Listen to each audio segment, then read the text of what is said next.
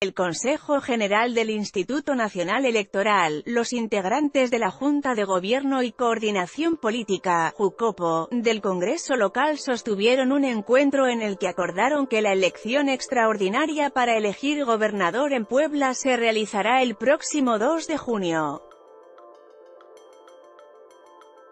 Gabriel Biestro Medinilla, presidente de la Jucopo, explicó que en la reunión con Ciro Murayama Rendón y Pamela San Martín, consejeros del INE, hubo varios acuerdos, entre los cuales el principal fue adecuar el día de la jornada electoral y una fecha posible para la toma de protesta. Hubo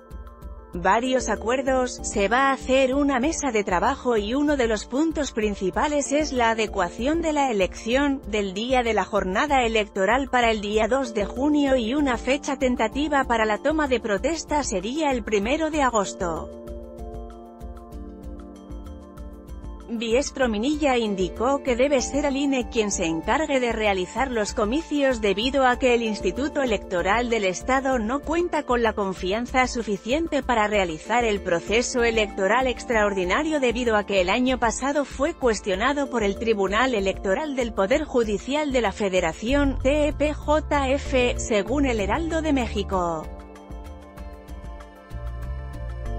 Por su parte, Rocío García Olmedo, coordinadora de la bancada del Partido Revolucionario Institucional en el Congreso local, precisó que todavía no se establecen fechas para los periodos de precampaña y campaña con el que contarán los candidatos. Los consejeros de la México se reunieron con diputados de las diferentes bancadas de la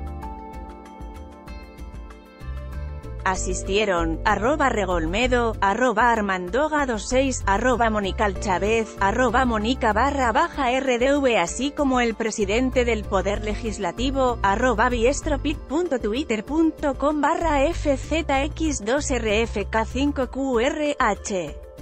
Congreso de Puebla, arroba Congreso Pue, Januari 26, 2019 García Olmedo comentó en entrevista telefónica que será en los próximos dos días cuando determinen si los candidatos a la gubernatura de Puebla contarán con 30 o 60 días para realizar sus campañas electorales, y agregó que podrían votar el acuerdo el próximo miércoles.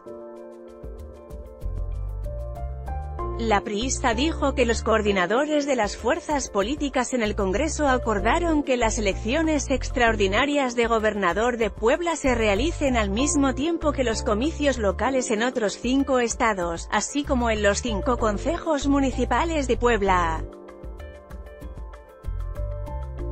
con información del Sol de Tijuana, El Heraldo de México y e-consulta foto, tomada de la cuenta de Twitter de Armando García Bendaño. Anímate a comentar. Queremos saber tu opinión. Comentarios Powered by Facebook.